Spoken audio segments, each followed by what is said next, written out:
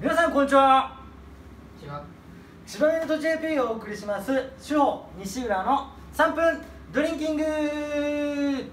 はい、えー、今日も始まりました。よろしくお願いいたします。えー、西浦さん、はい。今回ご紹介いただけるお酒がなんとすごいインパクトですけどもこちら何ですか？はい。岩木寿さんの機関指導っていうやつですね。はい。かっこいい名前じゃないですか。はい。あのー岩木寿さんね、うん。あの何回かご紹介してるんですけれども、はい。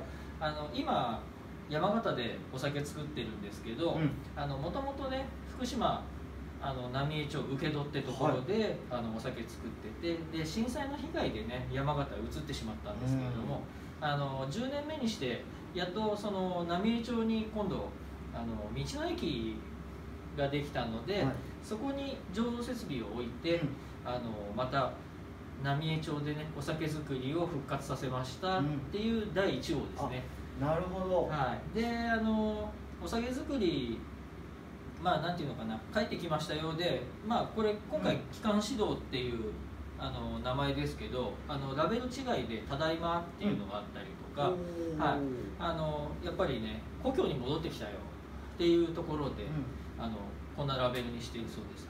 あはい。始まるよっていそうそうですね。であのこの機関指導っていうのが、あのまあ岩木寿さんがあったところがその請戸っていう港町で、えー。漁港ですね。はいはいであの漁師さんたちが皆さんやっぱり岩木寿さんのお酒飲んでてであの漁に出る時うん。に「機関指導」っていう掛け声であの出発したらしいんですよ。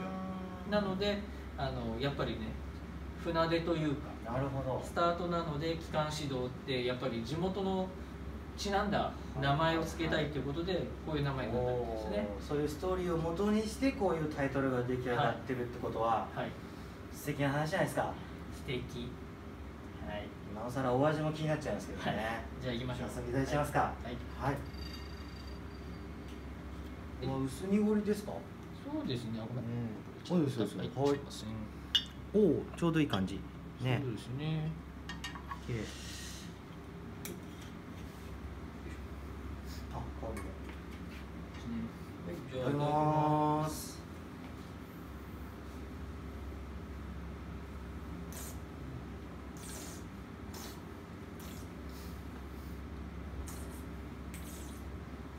うんあメロさんはい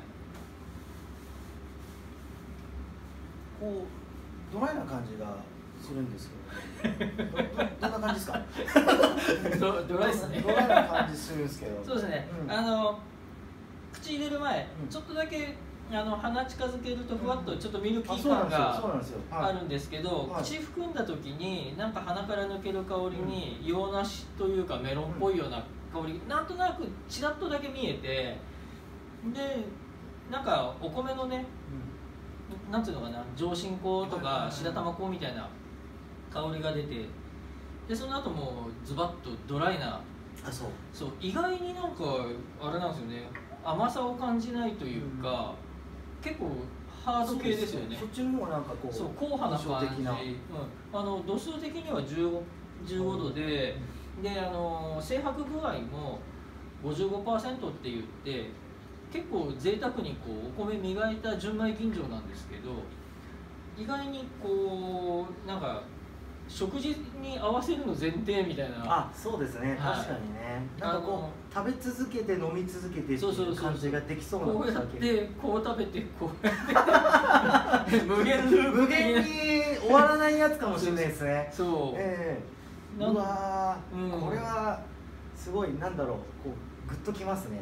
ねはい。なんかやっぱりあれですね気合の入り方が違うかなうん。みたいな。あの焼き魚？